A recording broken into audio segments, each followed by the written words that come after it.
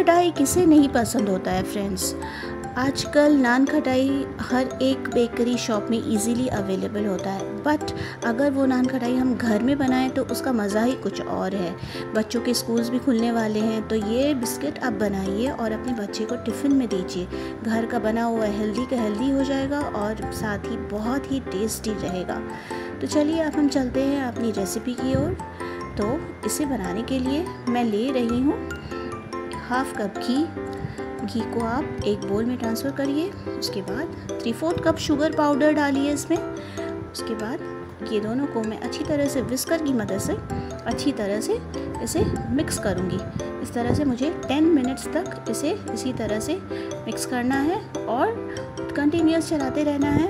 और 10 मिनट के बाद या 10-15 मिनट जब भी इसका कलर इस तरह से क्रीम हो जाएगा, एकदम लाइट कलर फॉर्म हो जाएगा और एकदम फ्लफ़ी एंड क्रीमी टेक्सचर दिखेगा तो आप समझ लीजिएगा कि आप, आपका ये क्रीम रेडी है। अब इस बैटर में मैं डालूँगी एक cup maida all purpose flour और उसके बाद मैं अब डाल रही हूँ उसमें टू टेबल स्पून सूजी, रवा, और उसके बाद मैं इसमें डालूँगी दो टेबल स्पून बेसन। ये तीनों को मैं इस तरह से इसमें छानूँगी। आप इसको छानना ही प्रेफर करिएगा फ्रेंड्स डायरेक्टली मत डालिएगा। इस तरह से छानने से क्या है छोटे छोटे लम्ब जो है, उसमें से छन जाता है। एक टीस्पून बेकिंग पाउडर मैंने अभी डाला है।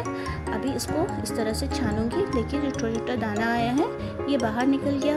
अब इसमें हरी इलायची का पाउडर, तीन से चार हरी इलायची का पाउडर, एक पिंच सॉल्ट सॉल्ट क्या है? मिठास को थोड़ा बैलेंस करता है। इसमें कोई सॉल्टी टेस्ट नहीं आएगा जस्ट एक मिठास को बैलेंस करेगा ये।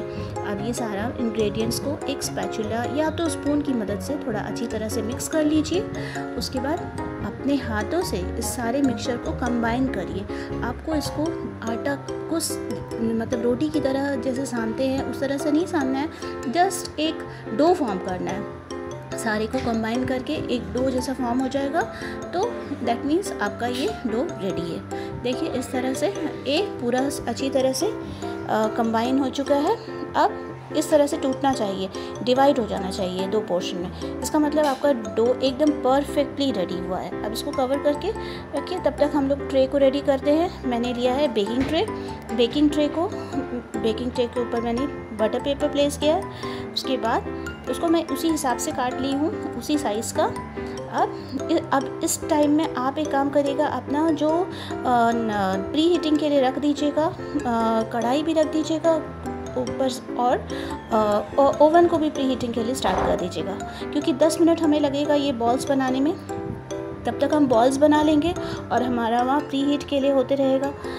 तो देखिए, मैंने इस तरह से हाथ से छोटे छोटे बॉल्स एक ही शेप में एक ही साइज़ में ले लिया है।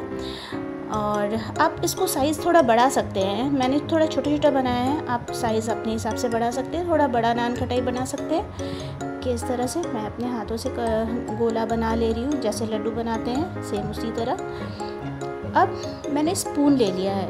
आप इस तरह से कोई स्पून से भी ले सकते हैं तो स्पून से क्या है? एकदम एक प्रपोर्शन में आपका जो है बॉल्स बनेगा मात्रा में निकलेगा, और उसके बाद बॉल्स भी एकदम एक साइज़ का बनेगा। तो आप स्पून भी यूज़ कर सकते हैं। उसके बाद ये स्टील का प्लेट मैंने ले लिया। इसको इसको मैं ग्रीस करूँगी, क्योंकि ये कढ़ाई में बना रही हूँ मैं। आपको थोड़ा सा कढ़ाई में भी बना के दिखाऊँगी और ओवन में भी बेक करके दिखाऊँगी।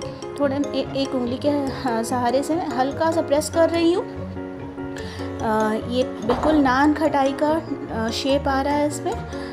देखिए सारा इस प्लेट को कभी मैं बिस्किट को नान खटाई को प्रेस कर रही हूँ। देखिए इसमें भी अभी वो शेप आ गया। अब इसमें मैंने बादाम का टुकड़ा जो है, गार्निशिंग के लिए चिपका रही हूँ। ऐसे सेंटर में आप इसको मिला के हल्का सा प्रेस कर दीजिए।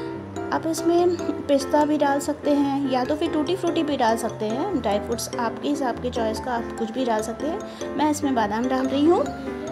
उसके बाद आप इसे जो है, कढ़ाई में रख दीजिए।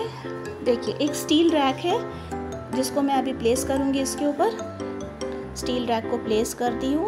अब इसके ऊपर मैं इनान खटाई का प्लेट रखी हूँ। स्टील रैक आप रख के ही प्री हीट करिएगा फ्रेंड्स क्योंकि मैं रखी नहीं, अभी रख रही हूँ। अब इसे कवर करके at least twenty two twenty five minutes इसे आप बेक करिएगा।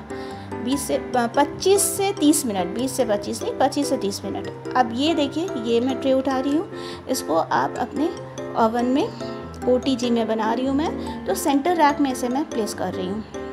उसके बाद 170 डिग्री में इसे 20 मिनट्स बेक करना है। 15 से लेकर 20 मिनट्स देखिए।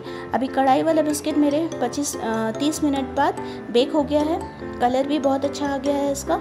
और देखिए 18 मिनट बाद ये मेरा ओवन का भी बिस्किट बेक हो गया है। इसमें 15 मिनट बाद एक बार चेक की थी। तो मुझे लगा थोड़ा सा और बेक होना है तो तीन मिनट के लिए मैंने और फिर से स्टार्ट कर दिया था। तो अब देखिए, नान खटाई मेरा एकदम परफेक्ट थोड़ा क्रैक्स भी आया है, एकदम परफेक्ट लुक आ रहा है नान खटाई का। तो कलर भी बहुत अच्छा है। अभी मैं इसे पलट कर दिखा रही हूँ। बहुत गर्म है फ्रेंड्स फिर भी मैं दिखा रही हूँ आपको दो बिस्किट देखिए, इसका बैक साइड में भी बहुत अच्छा कलर आया है, एकदम परफेक्ट आया है। और प्लेट का भी बिस्किट जो है, एकदम सेम है।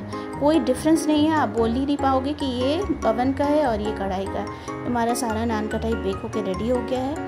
आप इसे अपने फ्रेंड्स को खिलाइए, अपने बच्चे को टिफ़िन में दीजिए और बहुत इन्जॉय करिए। मुझे बताइए मेरा रेसिपी आपको कैसा लगा और मेरे चैनल को ज़रूर से लाइक एंड सब्सक्राइब करिए। Thank you and bye bye